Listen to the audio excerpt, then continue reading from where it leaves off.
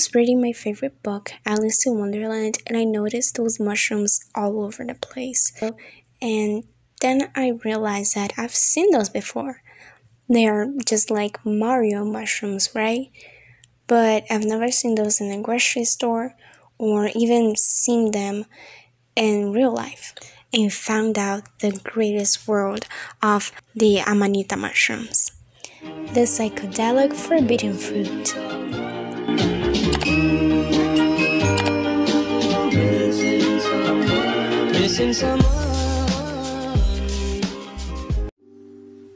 So, Amanita muscaria or fly agaric or Mario mushroom, Alice in Wonderland mushroom, or even fairy ring mushroom, just whatever you want to call it, is a type of mushroom from the Amanita species. So, this name fly agaric, it was because in past years have been used with smashed milk to kill the flies and it's a great way to get rid of all the insects. So those mushrooms they usually grow over summer and fall. They grow in forests that have hardwood trees or even conifers.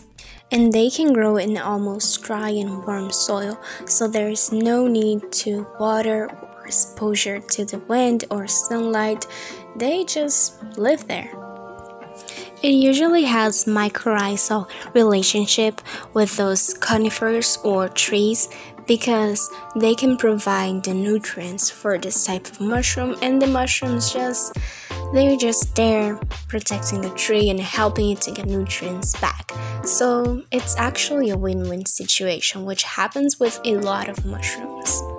Not all of them though, but it does happen. So keep in mind that not all mushrooms are bad for you.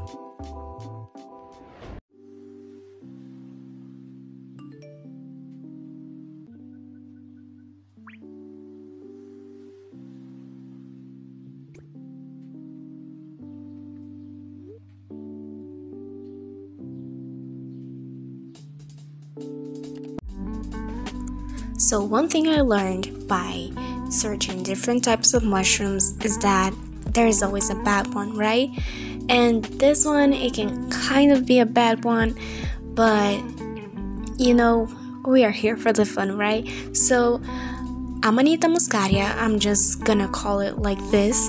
It's a type of hallucinogenous fungus or fungi or fungi however you want to call. It's a type of mushroom that it can lead to a lot of troubles in the nervous system. So they're poisonous. Okay, but what happens if I digest it? So it can cause changes to the nervous system and it can be a lot of trouble.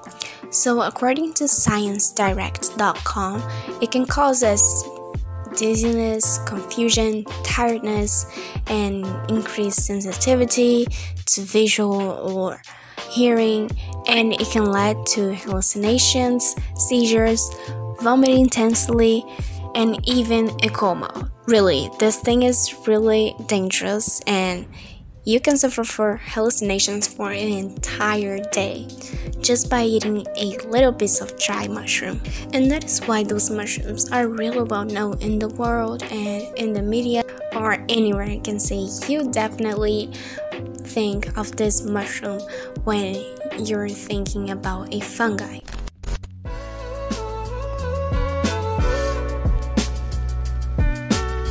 They are known to be the mushroom that takes part in a lot of cultural and religious rituals from past Siberian, European, and Pan American shamanic people, and also they were used during ancient Greece and Rome rituals.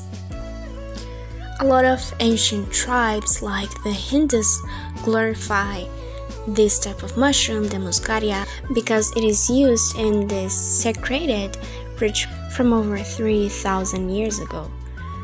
Like Soma, an Indian god revered by the Hindus, that was none other than just an Amanita muscaria, which they thought it was a divine mushroom of immortality. A lot of them were usually seen as wow the greatest mushroom ever and it can like to be used in those type of rituals because they cause a lot of hallucinations and you know they just drives you crazy and makes you euphoric. So then you can have a depressive episode all of a sudden.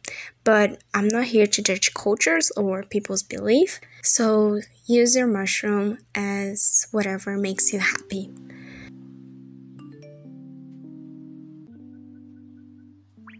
Since those effects have a lot of excitement on it, they were used by the richest during their orgy royal parties, so they would get excited, you know, in that way.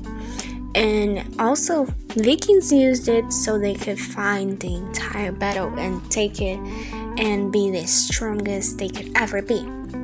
So we're here talking about how this type of mushroom can be hallucinogenous. If you eat, you would might get in coma or even die. But no, actually, muscaria is the last deadly of his family. Apparently, the Amanita mushroom has a lot of other types of mushrooms, such as Amanita pantherina, which is one of the most dangerous ones, Amanita caesarea, which is actually edible. You can actually eat an Amanita. Just have to be sure of the type of one. And also we have Amanita caeciliae, Amanita vaginata, and the list goes on and two more 10 of them. So it's a lot of amanita. God, I love how this name sounds. A lot of Hindu people actually boil it with water so it would clean all the toxins and or they even would eat dry but just a small portion of it and without the cap, the part above the mushroom.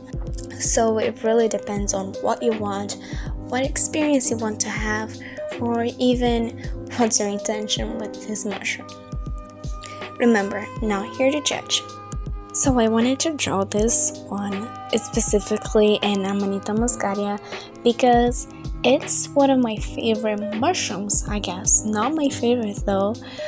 I'm still gonna make a video on that, but it's one that really intrigues me and it's all over the place. So I was really excited to learn about this one keep loving mushrooms, and don't judge the book by its cover. Really, don't eat mushrooms that you just saw in the nature.